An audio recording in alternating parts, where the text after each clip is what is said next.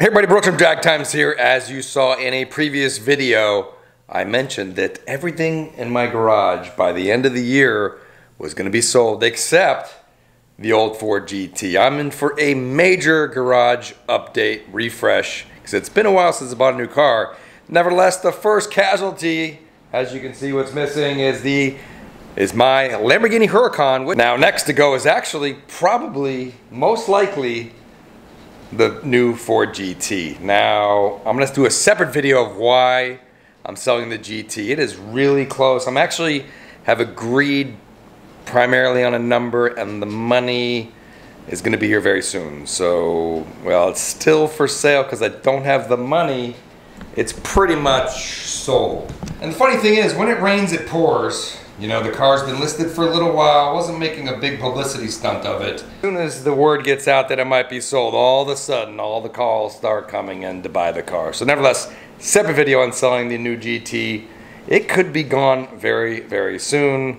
Next to go is either the McLaren 720S. You know, I have the 765 LT on order, so that definitely has to go. And then, of course, the Tesla Model 3, my temporary daily driver until the plaid Model S comes out hopefully by the end of the year. So, but let's get on to selling the Lamborghini Huracan and what's going to replace the Huracan in the next probably couple weeks. All right, so yes, yesterday was actually a pretty sad day. I had the my Lamborghini Huracan listed on eBay for about 30 days and got a, quite a few offers on the car and finally ended up letting it go uh, yesterday. And actually the transaction happened pretty fast, agreed on a price, uh, the wire came in the next day and the truck was there to pick it up and it's gone to somewhere in Illinois. So it's just about four years to the day that I traded my Super Trofeo Stradale for the Lamborghini Huracan over at Lamborghini Broward. And I'm gonna go over the numbers, what I paid, what I got for the car, so you can get a feeling of what it cost to own that Lamborghini over four years.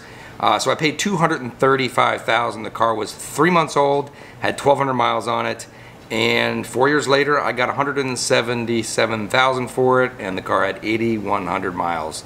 Uh, other expenses I had were that extended warranty I added for about 4,000 so if you divide that by four years the monthly cost to own that car was about a little less than $1,300 a month.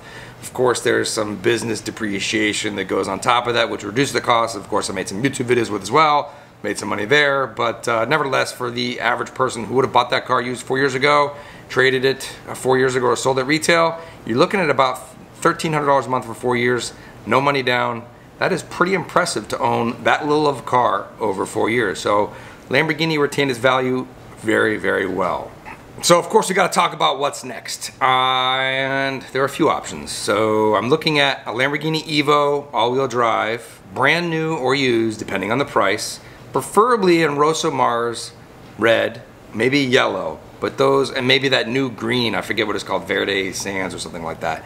I want a bright color and that's what I'm looking for. Or if I want to bump it up a little bit, there are some lightly used Aventador SVJ coupes out, which can be had for pretty good prices, uh, probably less than 500,000. Of course, that's a huge step up over the Lamborghini Huracan, and you're gonna lose probably double the amount of money and honestly, it just doesn't drive as good as the Huracan. That single clutch transmission is super rough. However, the sound of the V12, the doors go up, the drama that comes along, that comes along with that car is just pretty insane. I love Randy from Savage Garages, SVJ. My buddy Heath had two in the last like two months, a coupe and the uh, Roadster version that just got sold when he picked up his 918 Spider.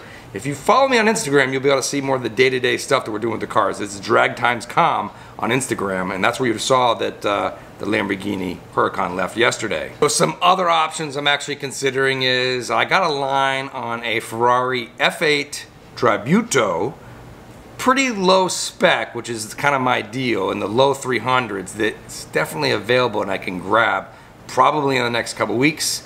Of course, that's 300,000 versus a used Evo, which is gonna sit around 250,000. So an extra 50,000 to go with a brand new Ferrari. Obviously, it's a ton faster than the Evo and we'll have warranty as well. So I don't know. We got SVJ, another Huracan Evo, the Ferrari F8, you know, some pretty solid choices to replace this car. So Uh, I'm pretty aggressive on getting something done and I really don't like blank spaces in the garage. So I actually have quite a few offers already out on Evos. Uh, Lamborghini Broward has a really nice SVJ that I'm keeping my eye on, but uh, you'll see what happens in the next few days or next few weeks, depending on how long it takes for me to get a deal. But drop in the comments, what do you think a good replacement for the Huracan is? Is the Huracan Evo just too small of an evolution for what I've been driving for the past four years? Should I jump up to a V12? Uh, although that's not great for drag racing, or jump over to that Ferrari F8 Tributo. With regards to speed, the F8 Tributo is the clear winner. I mean, it is gonna blow the doors off the Lamborghini Huracan Evo and the SVJ. I got tested on this car and it is not that much slower than the Pista.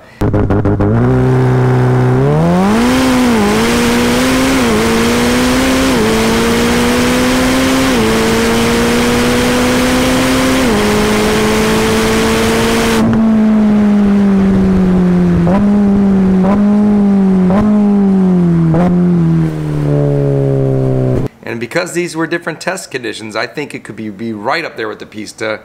60 to 130 and the Tributo was coming in at 6'4", and I believe I got 6'2". Uh, of course, that's with passengers in the car, both in the Pista and the Tributo. So we can expect probably very low sixes, 60 to 130.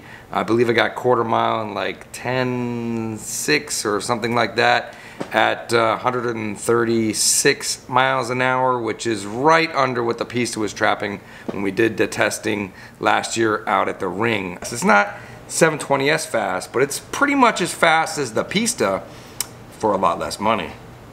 And also, I almost forgot, I got these really cool McLaren 720S drag times t-shirts. That's actually my 720S there that I uh, took a picture of. And on the back, you got a top view with the Drag Times logo on the bottom there. These are for sale in the merch store down below. And finally, let me know in the comments below again, what do you think? We got the Huracan Evo, the F8 Tributo, or the Aventador SVJ to replace the Lamborghini Huracan.